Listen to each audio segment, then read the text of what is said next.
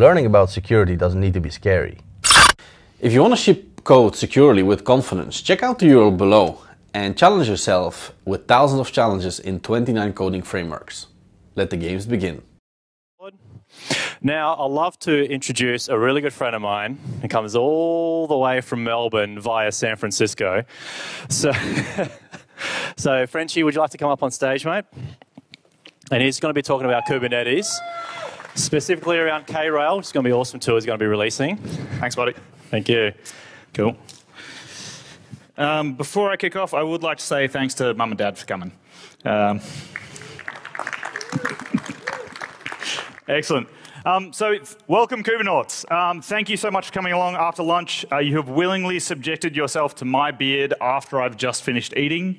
Um, that is a experience that no human should uh, ever experience.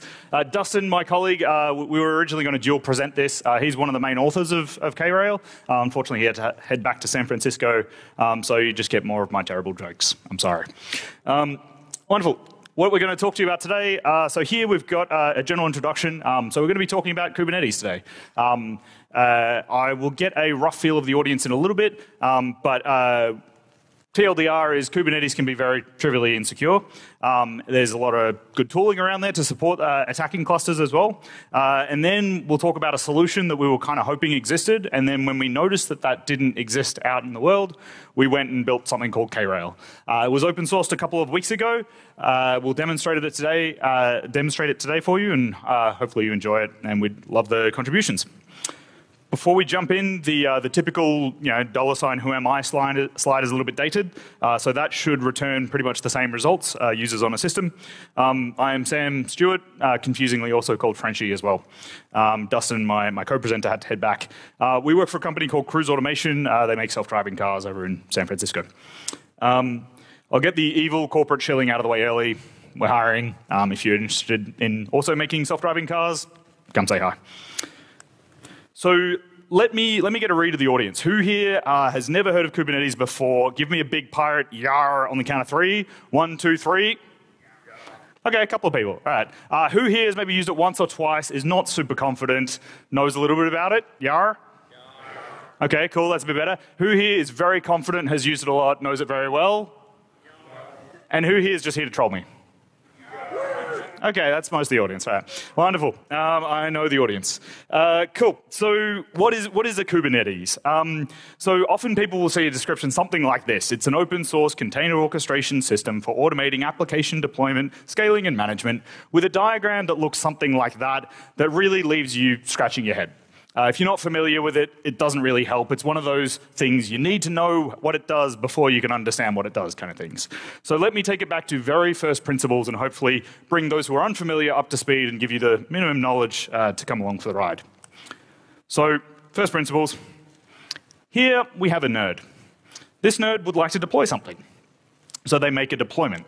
Uh, this deployment is typically a YAML file with some uh, extra metadata around the thing that they want to deploy, the particular container image, uh, how many of them they want, how they want it to be configured, etc. They pass that along to the API server, and then the API server goes and makes things happen for them. That's typically the stopping point for most developers. This is the interaction point they have. They just send it to the API server, make stuff happen. Uh, they don't really care about the internals. I'll go a little bit deeper, but most developers who are using this on a regular basis have this level of understanding. Um, and I'll pause here for a second to talk about the threat model a little bit. Uh, in this case, we're not talking about malicious administrators. Uh, they already have you know, admin level, root level on the cluster, they, they can do whatever they want. We're also not talking about you know, hackers off in the ether who are unauthenticated. The sorts of people in our threat model here are people who have the ability to deploy. So, you know, pen testers who've stolen credentials, uh, people who've found a bug with the ability to then trigger deployments, systems that can deploy, or most commonly, uh, developers who deploy something but then accidentally misconfigure it. Uh, that is, is the most common case that we see on a regular basis, and that's the threat that we're trying to prevent. Uh, so how does it work in a little bit more detail? We mentioned the API server. So the API server talks to some things called nodes. Uh, and nodes in this case are the servers that you're talking about. So EC2, GCE, on-premise, pretty much any compute that you want to be talking to. How does the node know about the API server?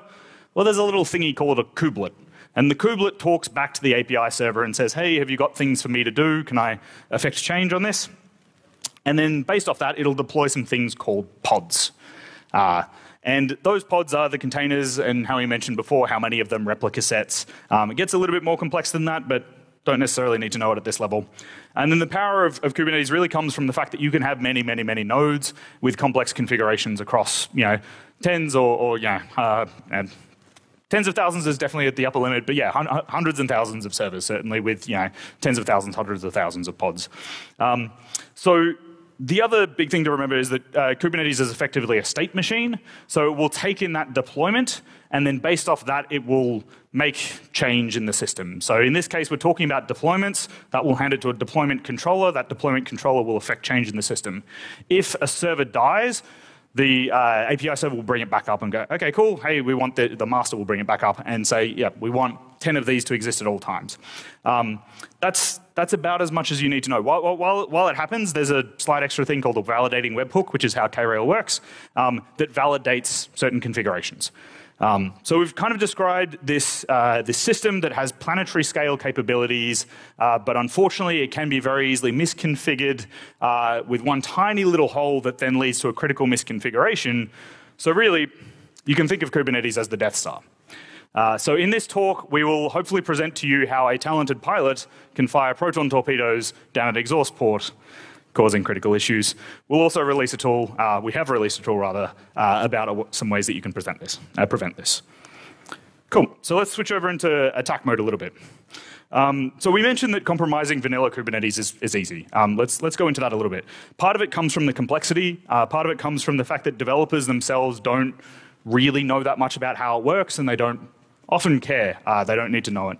Um, and even if you follow best practices such as role-based access control, MTLS, uh, and other things that we've, we've talked about on our blog before, uh, there's still some, some trivial privilege escalation routes that are commonly, uh, commonly found in clusters. Um, the, the blog post there, if you go medium cruise, uh, we, we talk about similar content in more detail. Um, and if you have a container that looks something like this, uh, which is an amazing photo, uh, unfortunately, the, the crap that you've deployed in the container affects the, the container itself. Uh, when we talk about crap, we're talking about bind mounts, so binding to the host file system or to the Docker socket, host networking, uh, running of privileged containers or containers that have the, capabi- uh, the ability to set capabilities. Um, and that's not even talking about um, you know, kernel vulnerabilities or ODAs. Those are configurable features by design in, in containers. So the impact of that is if you do misconfigure those uh, ones that I just listed there, it can lead to compromise of the host, compromise of the cluster, and then pivoting throughout the infrastructure from there. We'll go into a little bit more detail with that, but I'll just give one quick example of a demo. And I think I need to press play to get this to start. Uh, so in this case here, the important line is down the bottom, host path, path slash. Uh, this is deploying a container that is mounting the entire host file system. In Linux, everything is a file. So then, you know, uh, host proc, etc you're now seeing environment variables in the namespace of a different container. The astute observers in the audience will notice there's a private key in there. That is not a private key that your container should, in theory, be able to access, but you can because you can access the file system. Um, so that's one common misconfiguration. Uh, and then we'll talk about another one here. Uh, yep. Uh, where we're uh, mounting the Docker socket. Um, and then in this case, Docker PS from within a container is now giving information about all the other containers running on the system itself. Uh, so that in itself, Docker PS is, is relatively innocuous. Uh, innoc- innocuous? That's not a word. Um, relatively innocent. Um, and it's uh, uh, the, the issue here, however, is that you could easily just you know Docker run a privileged container with that same uh, bind mount of the host file system we mentioned in the first place, um, and and cause chaos from there. Um, a little bit more background information, particularly around GCP. Um, uh, cl- different cloud providers all have something uh, similar of their, their, own sorts, but they, they introduce some extra attack surface. Uh, in this case, the, the metadata API. Um, uh, GCP, while they do have a recent feature called metadata concealment, not a lot of people turn it on. Uh, and so if you can then get a container that accesses host networking, you can then get attributes of the underlying node from within the container. So the privilege escalation pathway in this case is from a container, if networking is enabled, talk to the metadata API, get the ability to say, yes, I am the node, then either talk to GCP directly or also the Kube API server and say, hey, I'm the host, give me the ability to do host things, please. Uh, and then from there, you can possibly extract secrets from other, other um, nodes, uh, other uh, containers running on that same node. Um, in fact, there's great tooling around this. Um, so greets to a guy called Brad Geesaman. Um, and so I will actually switch over to a demo now and praise to the demo gods, see how this goes. Um, so uh, over on the screen here, and I'll kick it off and then describe what it's doing as I'm talking. Uh, so uh. So this is that repo here. So. You can see, yeah, the, just the one I mentioned, Big and kube-env-stealer. Um, and then I'll kick off this auto exploit and then talk it through what it's doing. Um, so basically what it does here is it goes and creates its own deployment uh, and it has host networking enabled. So that misconfiguration we were talking about. Um, and you can see here it's gone and created them. The evil pod conditions have been met. So it's in, it's going to go through and deploy and you'll see a wall of text.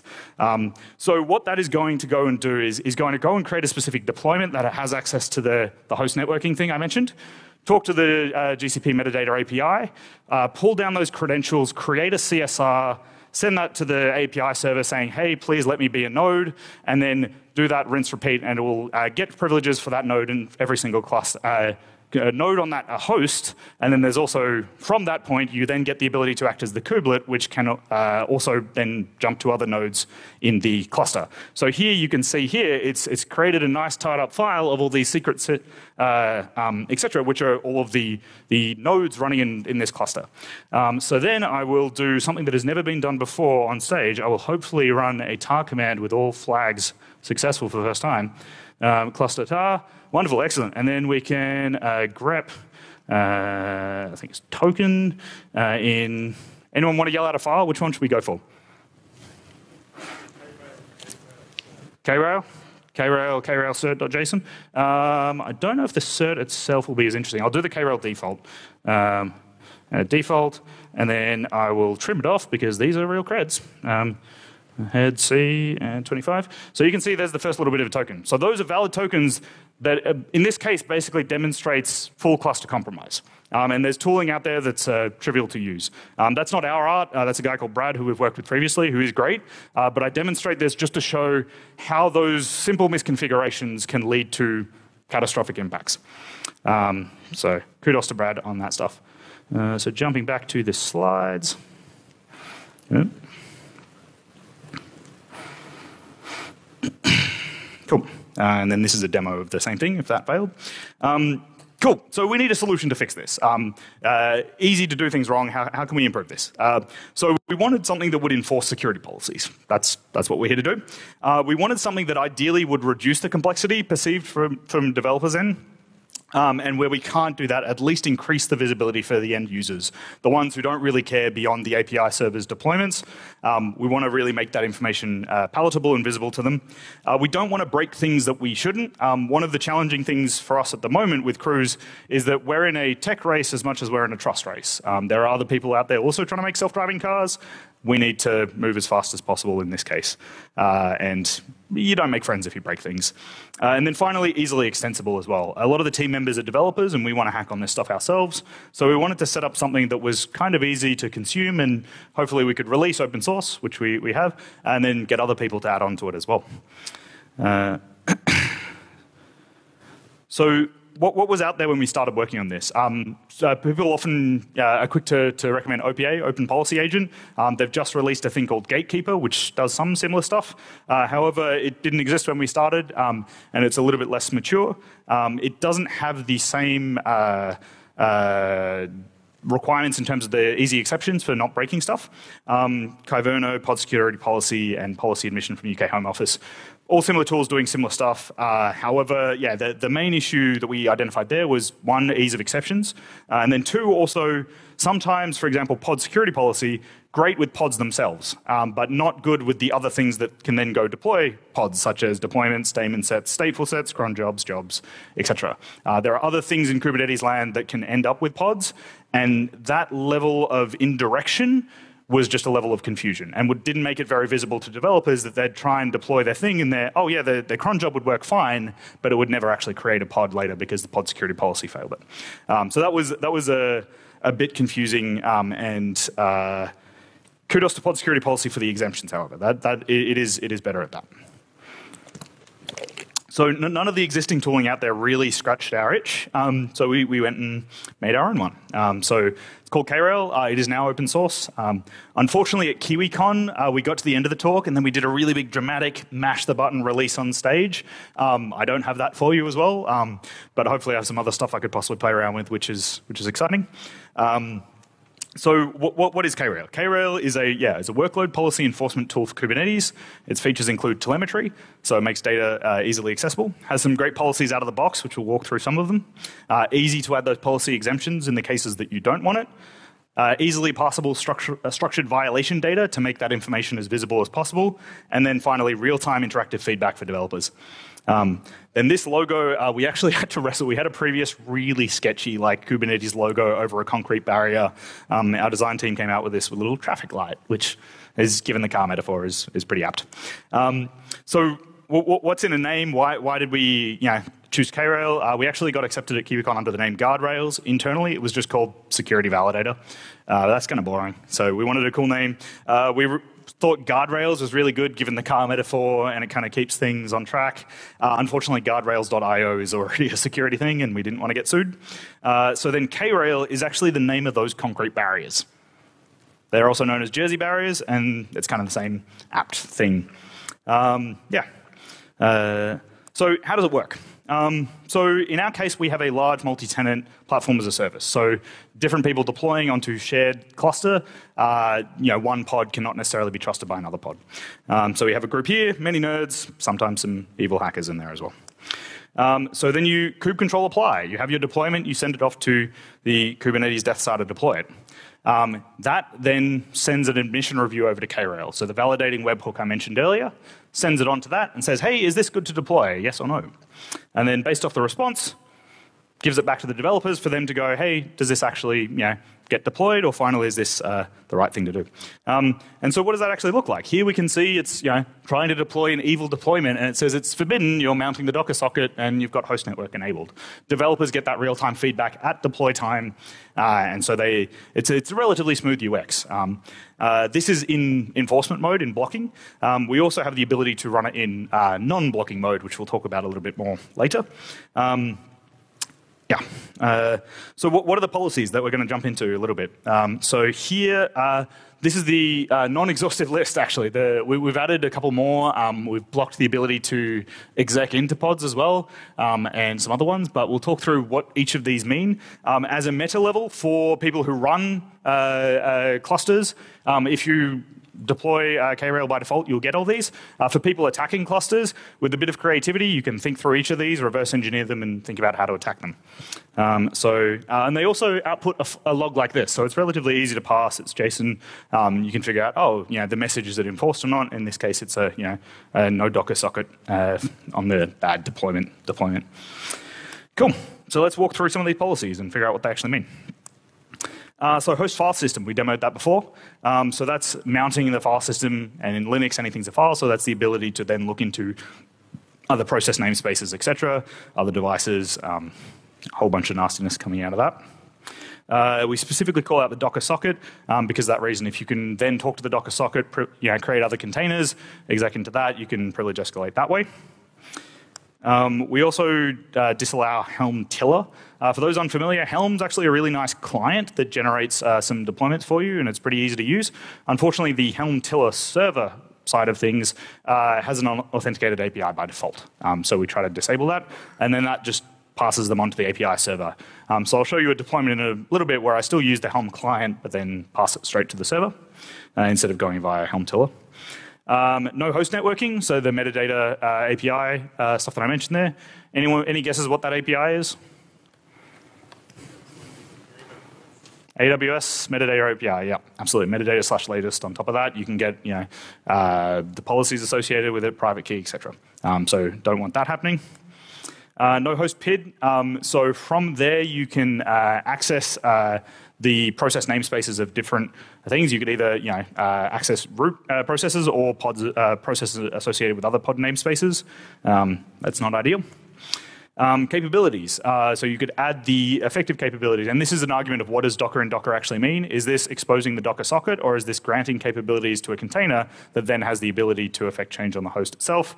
Um, but if you grant the ability to a container to add capabilities to itself, nothing is stopping it from saying, hey, I'm just going to grant myself sysadmin. Um, uh, privileged container mode, um, so that's when the deployment comes in in itself. Uh, you notice the direction of the arrows is a little bit. It's, okay, here it's a pod accessing network, here where the configuration of the deployment itself. Um, so Docker run privileged uh, effectively turns off a lot of the security features. Um, I'm working on a separate talk that enumerates exactly, you know, C groups and a bunch of the other Docker uh, isolation features that get turned off when you turn on the privilege flag. It's a bad idea. Don't use it. Um, Immutable tag reference. What's wrong with this? Any guesses? What was that, sorry? Latest can change, absolutely. So if a malicious actor comes in and then pushes over latest, you will pull that down at next deploy time. Um, whereas instead, we actually have a, a guide in the, uh, in the README that it's a one-liner and it lets you actually pin it to a specific hash. Cool. So that's a, a thing that we do as well. Um, what about this one here? Docker run Tomcat latest. And it's not the same thing. Latest is also a problem, but the full hash didn't fit on the slide. Trusting a third party. Which, which third party am I trusting in this case? Yeah, exactly. And so this is actually a real case from 2016. Uh, Docker user 123, uh, Docker 123321 pushed an image called Tomcat to Docker Hub. There wasn't an official Docker uh, Tomcat already, and so that got you know a few hundred downloads because it was oh that's the topic to Tomcat I want. Docker run Tomcat didn't 404. That's the one I want. It was a crypto miner. Um, so if you pin it to specific repos that you expect, if you run your own registry, you can uh, you can match on that. We've got some regex that uh, push, uh, matches on GCR and, and, Docker Hub by default, um, but you can configure it to be your own internal repository quite easily. Uh, and then finally, uh, ingress exemption as well. Um, by default, uh, pods shouldn't be going out publicly, uh, and so you can uh, require an explicit exemption to say, yes, I want an ingress attached with this. Um, cool, so th those are just some of the policies that come for free, um, and those are the most common misconfigurations that we see as well.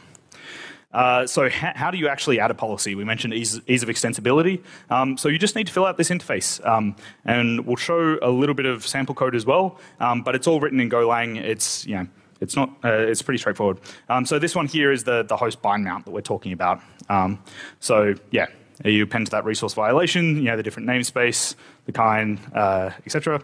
Um, so that's, that's one policy. If you want to add other ones, it's, it's pretty straightforward.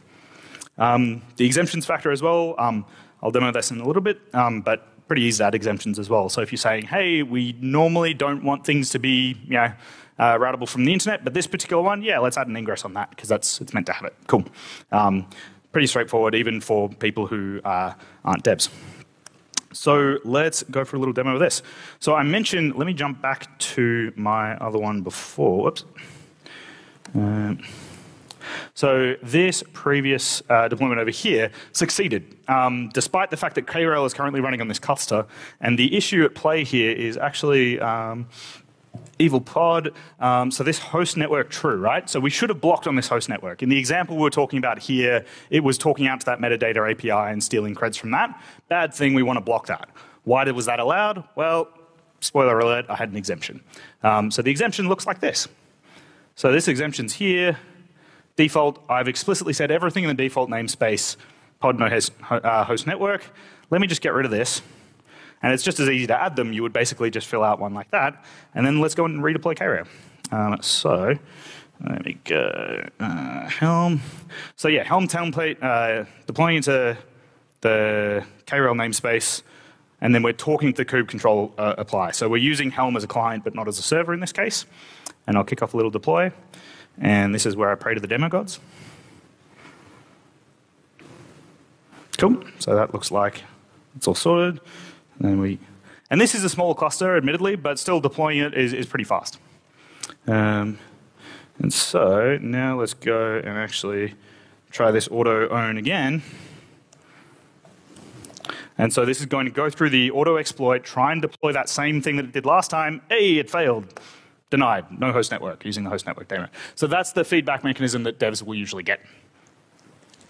That's the demo.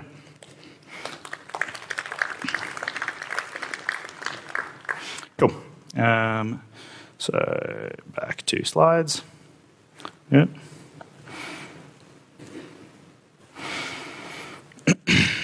cool, cool. Um, and that was the backup in case things didn't work, uh, which pretty sure it does the same thing. Cool. So, so how did we actually roll this out? Let, us get some data from from real storage. So we run this in production on all clusters at Cruise.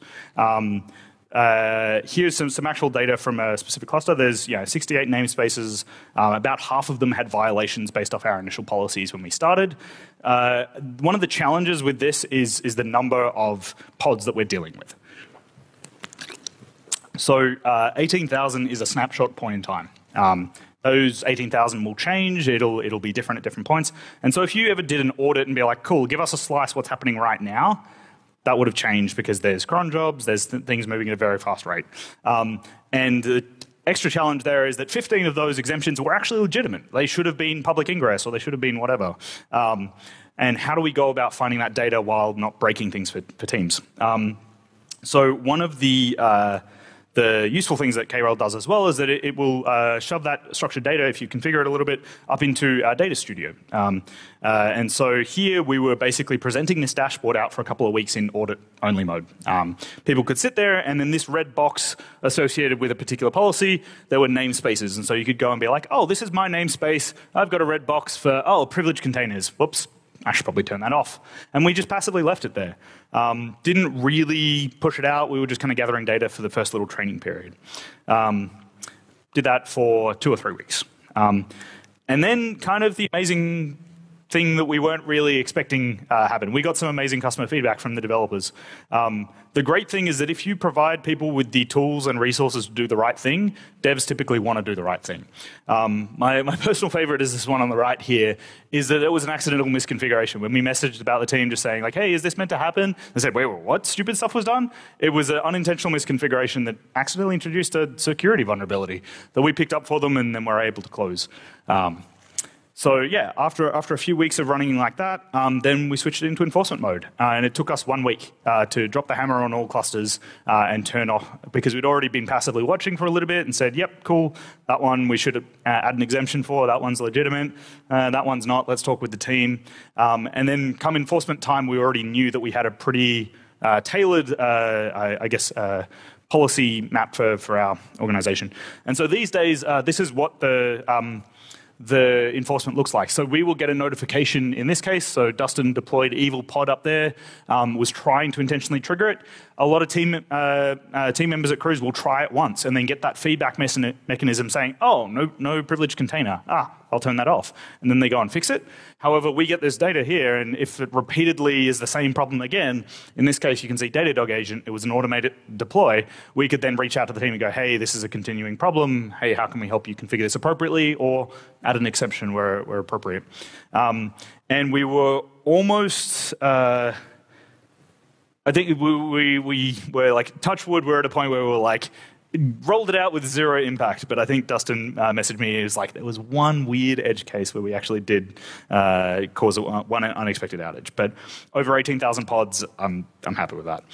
Um, Cool. So, uh, conclusion. Uh, we, we gave you a, a brief introduction of, of, Kubernetes, a bit of background for those unfamiliar. Uh, we introduced the problem. Uh, we introduced some of the common ways that uh, Kubernetes uh, clusters can be misconfigured and some of the security implications of that. we demoed Brad's tool, which is some great tooling associated with exploiting that. and then finally, we introduced a solution, which is KRail. Um, it is now also open source. so, we would love for you to use it, um, add some policies, give us some feedback, try it out. Uh, let me know your thoughts. Thank you.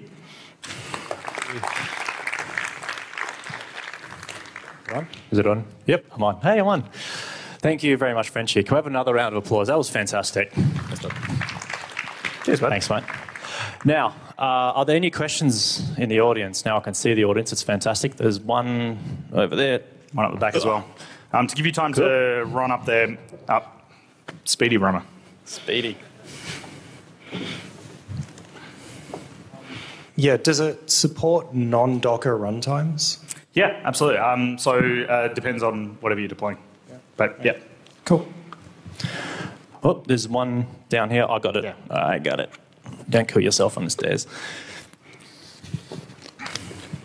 Uh, how many of the policies like would apply to GKE or whatever Amazon's one is versus your own Kubernetes deployments? Uh, they're all pretty agnostic. I mean, the, the reason why you'd go with Kubernetes if you want cloud agnostic considerations. Um, and so the, the no host networking thing we demoed in a GCP specific context. Um, but that same issue of like if you don't want pods poking around your network on prem, still the same policies. Um, it's kind of agnostic. Cool. Thank you. And there's one up there. Um, one of the problems that you outlined with pod security policy is that it fails very late, and the whole point of KRail is to fail nice and early. Is there a use case for combining both, where you use KRail to cover kind of most cases nice and early, but the pod security policy is there to fall back on if that misses something? Absolutely. Um, uh, the demo gods were not particularly kind to me. That there are some cases where KRail you can actually uh, get past it in some cases, and that's where pod security policies are the hard backstop that you want for that stuff. Um, the usability cost of that, unfortunately, for most developers, we found was was uh, was a bit of an issue. There was a great um, uh, TGIK. Thank God it's Kubernetes, which is a Friday blog post uh, by Duffie um, from VMware, and he talked about and he played around with a bunch of stuff and, and, and did some comparison and talked a lot about you know the the formal Linux Foundation pod security policy stuff as well. Um, the uh, the tool they just released, Guardian, I think it is. Um, let me just give everyone epilepsy in the audience while I go through it. Gatekeeper, sorry. Gatekeeper recently released. Um, we've we played around with it a little bit. I think there's some opportunity for for um, uh, for them to interoperate with a whole bunch of other stuff as well. But TBD. Um, it's it's open source now as well, so we're happy to merge or yeah go our own ways. But absolutely. One more? Yep. Yeah. Do you think it would work in something like Minikube running locally for a dev? Um, maybe. I haven't tried. Um, yeah, I, I don't see why not. Um, Minikube just spins up a bunch of containers locally.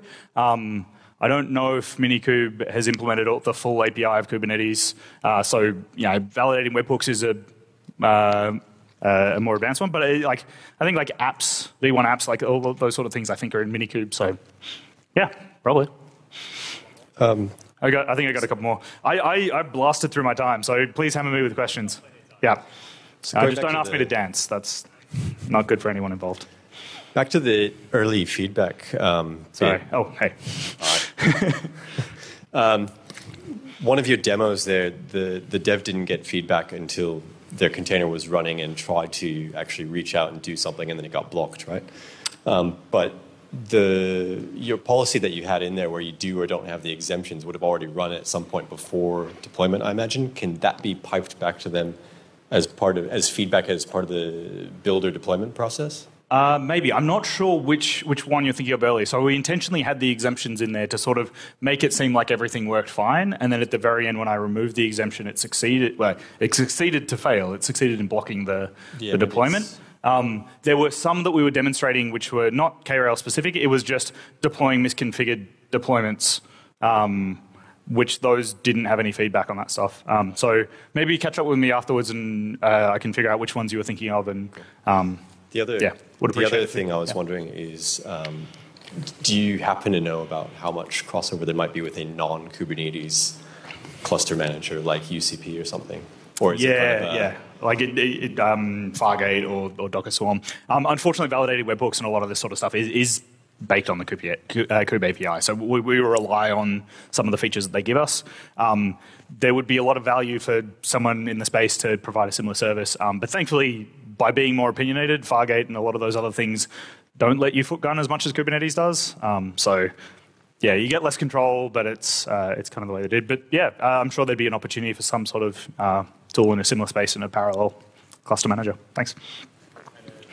Yep. Hey, um, so I've only got cursory knowledge of uh, Kubernetes, so that's Darn, a caveat at the start.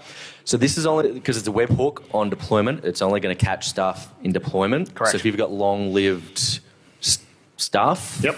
Static you're going to have to go out yep. there and audit yourself, right? Uh, yep, static pods uh, that are manually configured on the node will not be caught by this. Absolutely. Yep, yep. Um, things that are already deployed will not be caught by this. Absolutely. Cool. Um, uh, the spoiler alert: the the vuln that uh, I was trying to demo for you um, as the sweetener because we did the big deploy at KiwiCon. I wanted to show ways that you could attack Krail. Um, this, but didn't didn't quite get there. Maybe come and chat with me afterwards. Uh, there's a race condition. If you deploy KRail and deploy something at the same time, we fail open intentionally because we don't want to be putting ourselves in a way where we're blocking these things if you know it's offline or something like that. Again, not breaking things that we don't want to.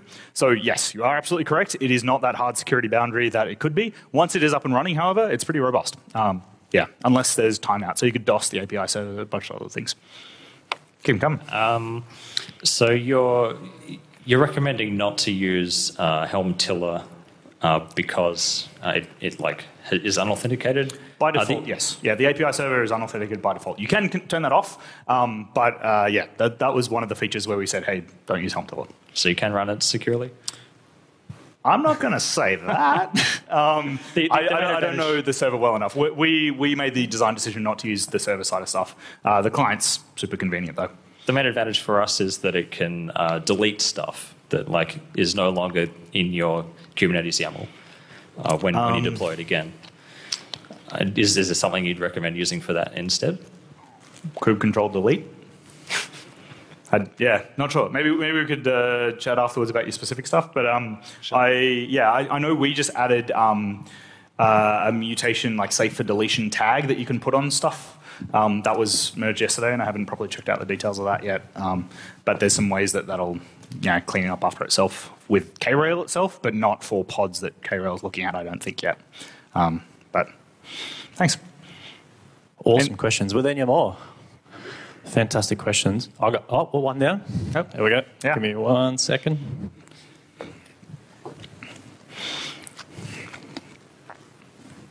Hi, I should uh, caveat I don't have much experience with Kubernetes as well, but um, possibly being mirrored by some of the other questions, uh, I'm interested in where the YAML files that configure the nodes, etc., would be committed to source control. Yes. And so changes to those files that might trigger some sort of automated scanning, would your tool be able to just run in sort of like a, a checker only mode? Yeah, that, that was uh, one of the first requests, especially from some pen testers as well. They want to be able to just, instead of deploying this, just scan this and give it order. Uh, there's actually great tooling out, out there already for a lot of that stuff, and that's more akin to kind of a linter, right? Like it's passing the file and just being like, oh, I'm going to regex for this particular thing, and that's a bad thing. Um, there, there's some tools out there that, that do that sort of stuff. Um, if you reach out to me afterwards, I can, I can link you some. Um, I want to say Kube audit off the top of my head, but I could be very wrong. Um, the downside of, of uh, AS, it, it requires th- that deployment object happening in real time. So it, it's in memory. It deployment comes in, sends it off to the validating webhook. So you would have to deploy it on a cluster for KRail to work. Um, so KRail could not do that, um, but there are some tools out there that can. Were there Anyone any else? other questions? Scared you all off? Uh, I got one. Yeah, go Yeah, it. Here we go. So uh, Patrick Gray, who you Mm-hmm. know, he runs a podcast, Risky Biz. On that podcast, I think it was about two, three weeks ago, he had a guy from Trail of Bits. Did you catch it? I did not. Okay. So uh, Trail of Bits is a company that do company stuff, and and they did a, an audit of Kubernetes by itself. Awesome. Right, and overall they found it was actually is quite is quite solid. There's a few issues. I think TLS was one of them, Yep. and I think that was one of the higher ranked issues because by default you didn't support it or didn't have it automatically configured. Is that been the same from your experience of like just a default Kubernetes go without additional stuff on top? Um, so the, the there's some interesting stuff around that, and like there was the billion laughs attack that came out recently. The vulnerabilities in Kubernetes itself, those kind of classes of things. That comes back to the initial threat model where we're talking about Kubernetes administrators. Um, out of scope for this, right? If you're running an old version of Kubernetes, your administrators need to patch. Um, so kind of slight different focus in terms of what we're trying to fix with the tool. Um, but we found that without an opinionated framework like Krail to guide people in the right direction, um, devs will just you know, start deploying random stuff and then go, oh, I want them to mount the Docker socket. And then, so yes, like without, like if you just turn it on, nothing's deployed. So there's no vulnerable pods. Uh, but if you turn it on in an organization and let it be used without guardrails, yeah, it, it ends up in a misconfigured state pretty quickly. So it's always in the config. That's always the issue, isn't it? Yeah. Yeah, fantastic. All right, were there any other questions? All right, massive round of applause for Frenchie. That was fantastic. Thank you.